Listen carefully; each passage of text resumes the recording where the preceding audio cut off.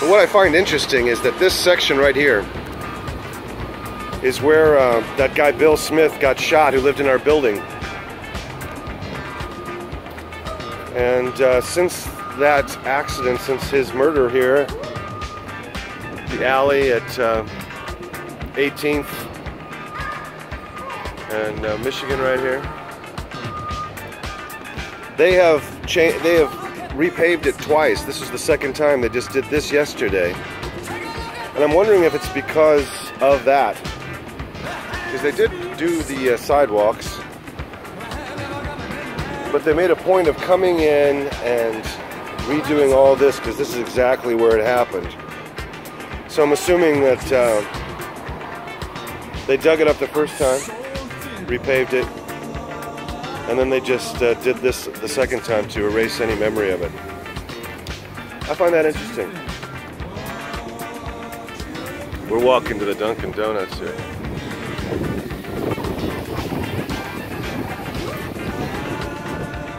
beautiful July day. Had a great weekend.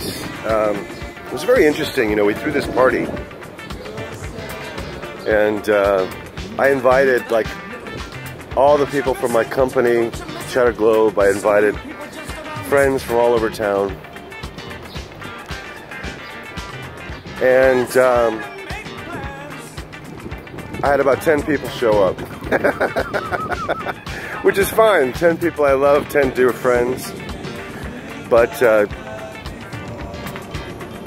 you know, in this age of social media, I think it's a lot easier for people to wish you a happy birthday on Facebook than it is to actually come to your home and celebrate your birthday at a party you're throwing.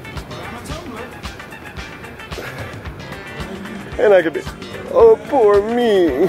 I mean, nobody from Shattered Globe came, which I thought was hilarious not a person showed up from Shattered Globe. Um, except for Darren Glass, who was an understudy, uh, who's Patrick Thornton's understudy in For Peter Pan, and Patrick Thornton. They were the only two people associated with the theater in any way that came to my birthday party. Now, you'd think I'd be bitter or unhappy, and I really don't care. I think it's hilarious you know, I learned a lot about a lot of the people that I've been working with uh, in the last couple weeks through their behavior, through their actions, through their words to me. So I think it's sad in a way, but uh, you know, in a lot of ways, I'm kind of done with Chicago. It's a very small town, it's a very petty town. And, uh, you know, back in the 90s, when the work was still about the work. I mean, those days are over now. Everywhere I go, there's some fucking truck.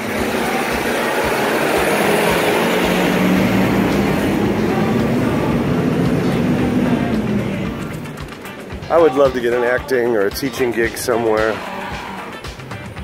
Uh, it's just not the same town anymore. When when Steppenwolf is banning critics that they don't like and accusing the press of being institutionally racist, you know that you're uh, you're in a politically correct time that's not really good for theater anywhere, especially here in Chicago. Chicago is supposed to be the best theater town, but right now we are not acting that way. All right, let's get some coffee. Enough of this political talk. It was a fun weekend. Spider-Man Homecoming was really good. You know what the best thing about Spider-Man Homecoming was? Zendaya. Uh, who would have thunk? And like all Spider-Mans, you know, it's like it's great when he's Peter Parker, but then when he's Spider-Man, not so good. noisy and edited so you can't really tell what's going on. It's, you know. And then we saw Planet of the Apes on uh, War for the Planet of the Apes on Sunday. First half hour was awesome, and then they get into it like a concentration camp. It was a very derivative movie. War of the Planet of the Apes, War for the Planet of the Apes. You know, it was kind of like uh, Apocalypse Now, squashed with Bridge on the River Kwai, squashed with The Great Escape. It was like a combination of,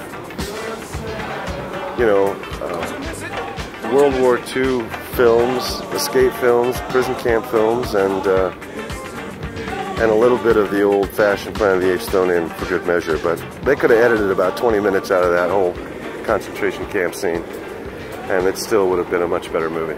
All right, we'll talk to you. Let's go in and see some, uh, get some coffee.